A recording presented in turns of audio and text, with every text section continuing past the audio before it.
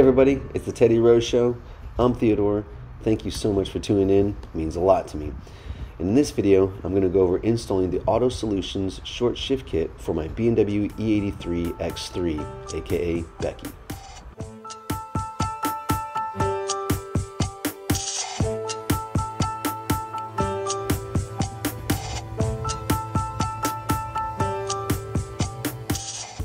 This is the Auto Solution short shift kit for the BMW E83 X3.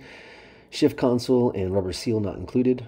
I'm going to do my best to try and illustrate how much throw is reduced before I put this in.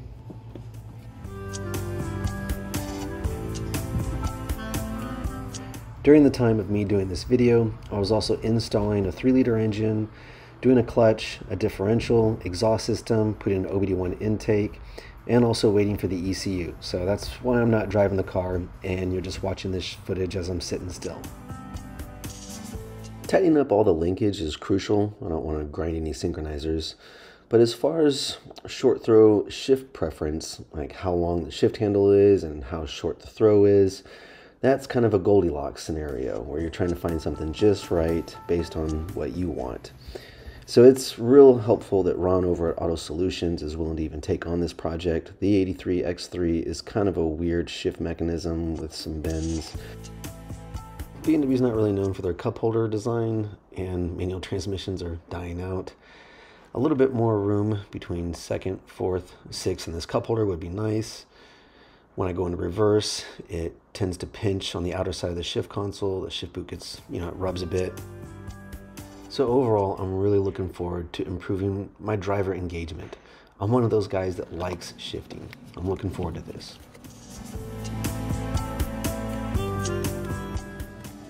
Time to pull everything apart and get that Auto Solutions short shift kit in there.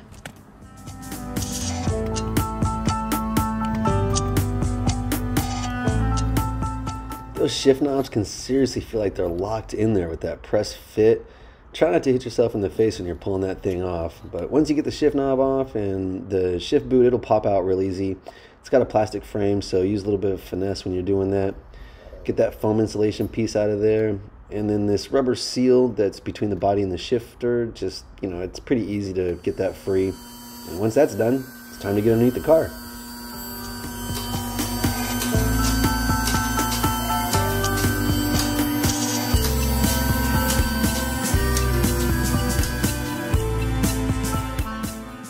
Next step is to remove the exhaust system and heat shield. After I've got that out of the way, remove the 8mm bolts from the cross member that supports the transfer case and transmission. I want to have a stand ready though to support all that weight of the transmission and transfer case. The idea is that once the transfer case and transmission have, are sort of drooped and hanging away from the body, that should give you enough room to be able to get your hands in there and get the short shift kit in.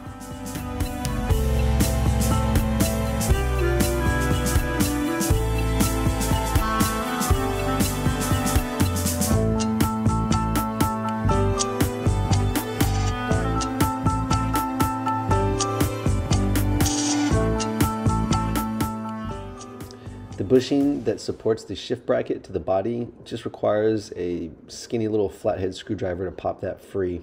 It's really not a big deal. After that, I get the bushings released from the front part of the bracket that's on the transmission. So that way I can get some room and there's a clip that's around the uh, shift knuckle. This shift knuckle is the main shift rail and you've got to be able to remove the clip to be able to slide the pin that supports that knuckle into the shift rail. It's a little tricky and I'm going to put some pictures in here to show what I'm talking about.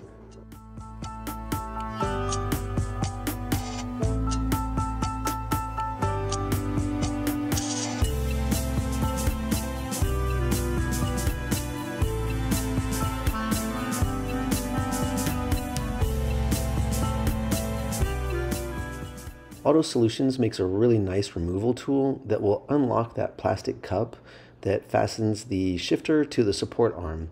I don't have one, I've kind of lost all mine, but a couple of flatheads and I'll just be real careful not to gouge any of the surfaces and I can get it free.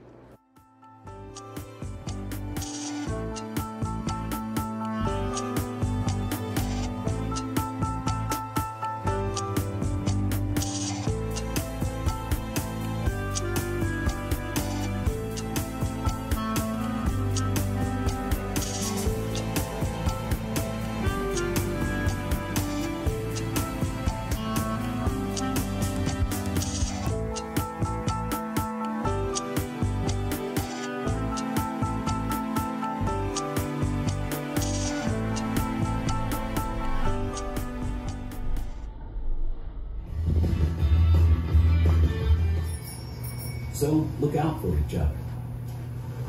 It's okay to be nice. This message brought to you by Show Me Zero. I used a little bit of Dawn soap to free up the seal. It can get stuck on the shifter pretty easily, and I don't want to rip it. I want to get it off there nice and reuse this.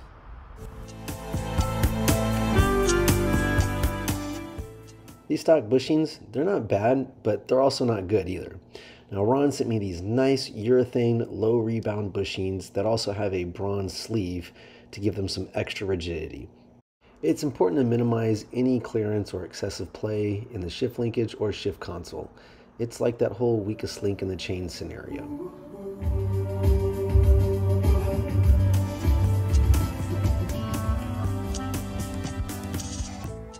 The Auto Solutions short shift kit is set at OEM height. It uses a Teflon lined spherical bearing with an oversized ball rated at 2,500 pounds.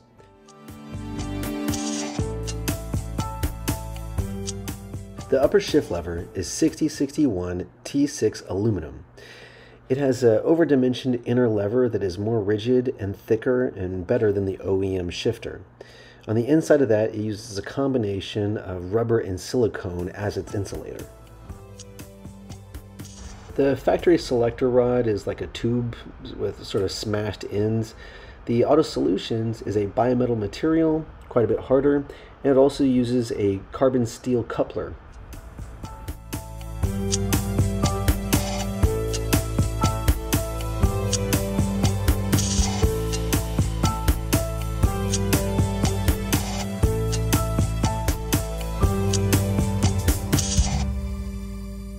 All of this footage is shot with my iPhone. I do need to invest in some GoPros so I can get some better shots and better angles. You can actually see what my hands are doing here. Note to self, GoPros.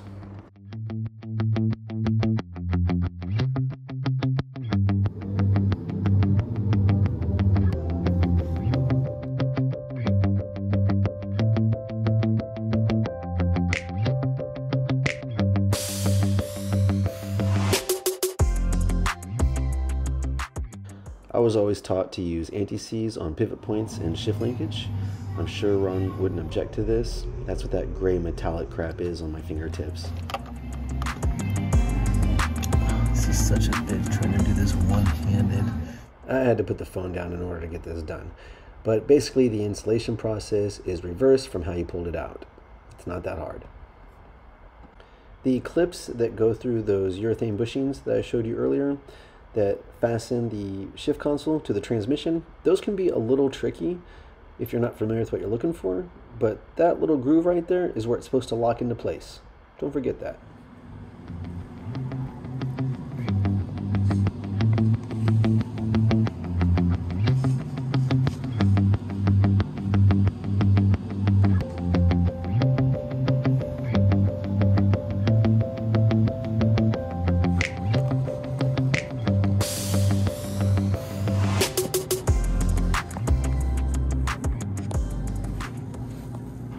Try not to make the same mistake I did when I was fastening the spherical bearing to the shift console. I lost one of those little Allens. As you can tell, I'm supposed to have six. I've got five.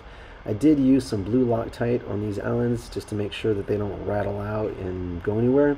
I want to make sure everything is nice and tight and secure.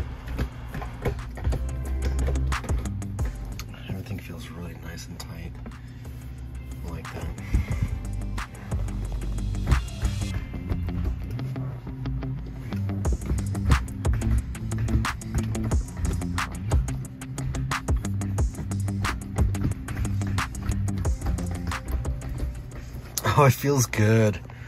I like that.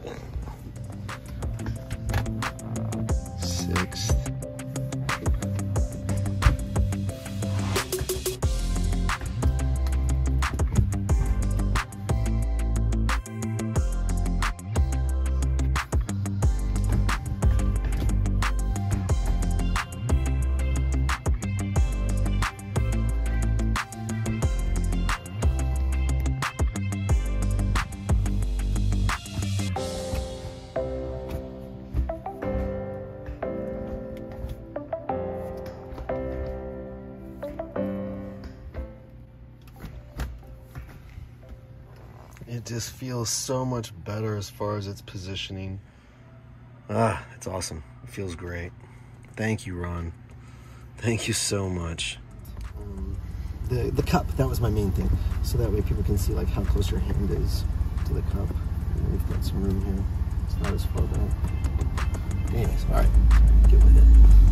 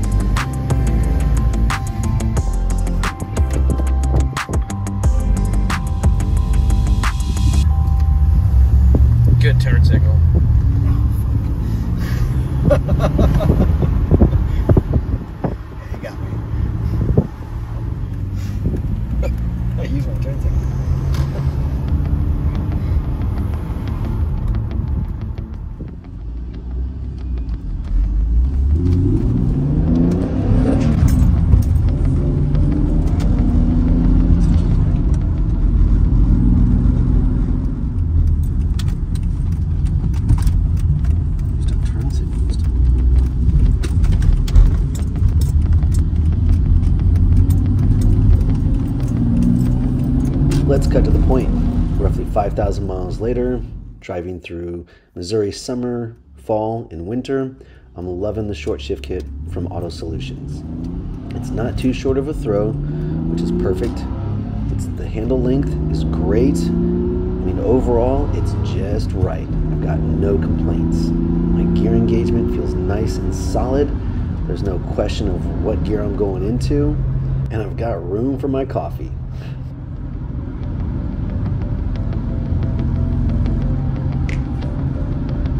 Gotta say, massive thanks and so much appreciation to Ron Eric Tenji over at Auto Solutions for making this short shift kit.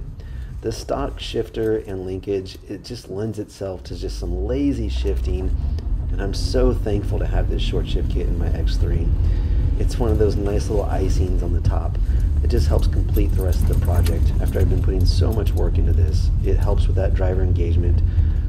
Kid you not, I'm one of those weird guys that loves shifting, and I got to thank my father for that as well, for teaching me how to drive a manual at such a young, early age. Thanks, Dad.